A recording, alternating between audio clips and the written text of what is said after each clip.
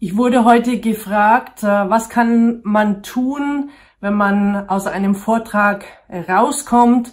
Man hat ähm, eine ganze Menge Ideen bekommen, dass ähm, für Nachhaltigkeit gesorgt ist und man nicht ein paar Tage später leider schon wieder alles vergessen hat, obwohl man sich doch so fest vorgenommen hat, dass man jetzt sofort das eine oder andere umsetzt.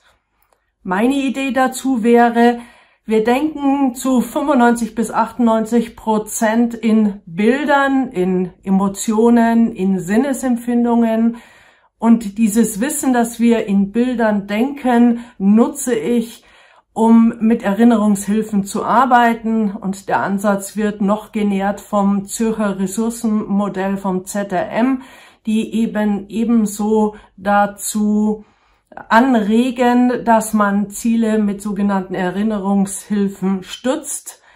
Und daher finde für das, für das du dir, dir etwas vorgenommen hast, ein Bild. Also zum Beispiel ähm, stelle ich ganz oft die sogenannte Dankbarkeitsübung vor und ich habe dafür meine Postkarte entworfen, beziehungsweise hat meine Grafikerin für mich umgesetzt, diese Karte.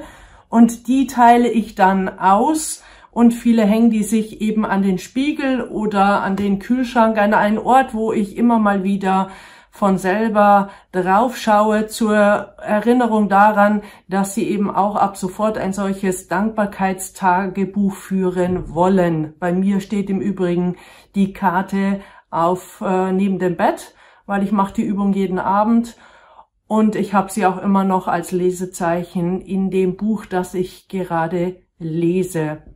Ja, ich freue mich über eine Rückmeldung, falls dir der Tipp auch geholfen hat oder auch nicht.